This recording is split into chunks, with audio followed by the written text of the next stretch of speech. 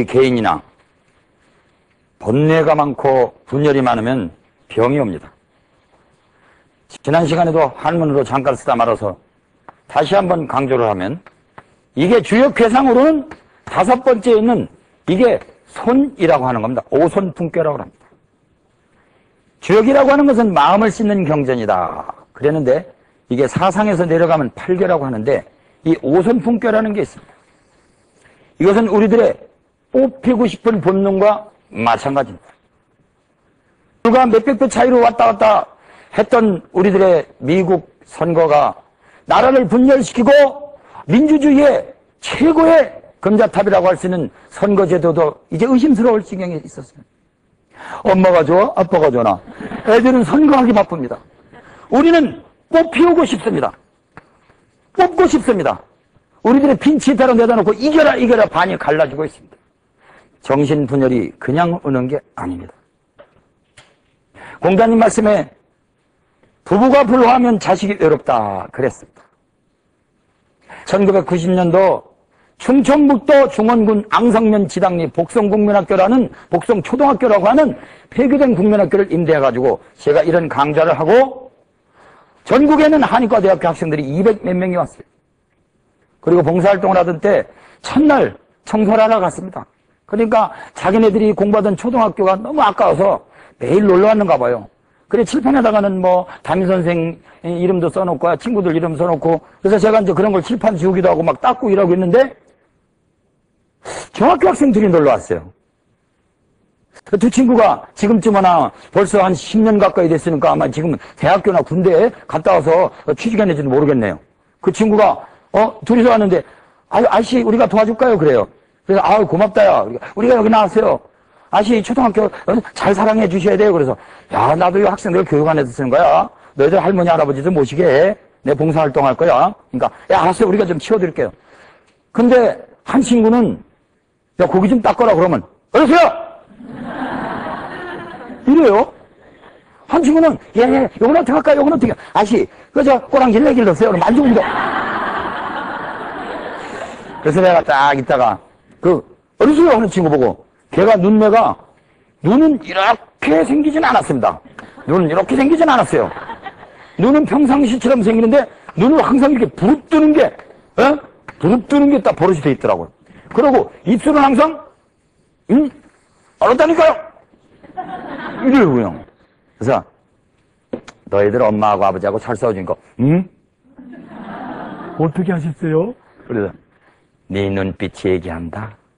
너 집에 몇 번 도망갔었니? 그러니까 최소한 여덟 번은 도망갔지. 그러니까 아홉 번요. 어, 아시 어떻게 그런 걸 알아요? 나도 경험이 있단다. 부모가 부러워하면 애 눈빛만 봐도 알아요, 여러분. 특히 아들은 누구 편이겠어요? 어머니 편이겠어요? 아버지 편이겠어요? 아들이 아빠 편이라고요? 대체적으로 아들은 어머니 편이고 딸은 아버지 편이래요. 음양학적으로는. 예? 너희 어머니를 아버지가 때리지. 그러니까 맞았어요. 그러더라고요. 우와. 그러니까 아빠 밉지? 여러분. 우리는요, 질병의 껍데기만 보지, 왜 무의식은 들여다보지 않죠?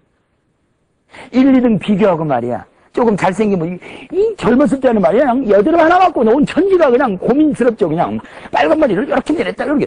옛날에 종로가 어디 한의원 근무할 적에 이 안에서는 바깥이 보이고 바깥에서는 안이 안 보여요. 거기서 보니 맨날 남자들이 빗겨내갖고 그저 젊었을 때는 이성한테 잘 보이는 거. 그걸 색이라고 합니다. 색. 예? 색을 밝히지 마라 하는 것도 색이지만 공자님 말씀에 젊어서는 색을 조심하고 나이가 많아서는 싸움을 조심해라. 오직 명예야. 그냥 누가 승진했냐, 누가 국회의원 되느냐, 안 되느냐, 떨어졌냐, 안 되냐. 그냥 애들이 반장성만점 바보 같은 것이 떨어졌다고 하면 나는 맨날 회장으로 애가 자살한 일도 있어요, 여러분. 어린애가 뭘 한다고 애한테 자살을 시키게끔 그게 몰아붙입니까? 이게 40대, 50대의 쌈질, 쌈질이에요, 쌈질. 그리고 그 다음에 나이가 잡숫고서는 오직 통장만 챙기는 거예요, 이제. 다 소용없다. 마누라도 도망가고, 그러면 올라가봤자 떨어질 밖에 더 있느냐. 역시 재물이 제일이다. 그래서 공자님 말씀에 젊어서는 색을 조심하고, 장년에는 싸움을 조심하고, 늙어서는 너무 재물에 집착하지 마라. 재, 색, 권. 이것이 사실은요, 니체가 얘기한 이 권력의지, 프리드리히 니체, 독일의 철학자이면서 영웅주의를 얘기했던 이, 이, 이, 이 사람은 인간을 권력의지의 표상으로 봤어요. 그 다음에 프로이드, 지그문트 프로이드, 이 사람은 모든 걸 갖다가 다 성충동으로 봤어요. 다 이유가 있더라고요. 이건 칼막스가 이런 걸 주장했잖아요. 재산을 공평하게 분배해라. 그런데 이 프로이드의 어린 시절에 어머니 품에 앉아서 자서 젖꼭지 좀 만지작거리고 피부 부드러운 거 이렇게 만지고 싶은 것도 일종의 감성 리듬입니다, 여러분. 여기다가 그냥 그 생, 그 뭐야, 이, 이 이제 약 발라가지고 뭐 유방 이쁘게 하려고 말이죠. 모유 안 먹이려고. 그 애가 그냥 떨어지고 말이죠. 그래, 엄마 이 심장 소리를 안 듣고 큰 애는요, 감성 리듬도 부족하대요.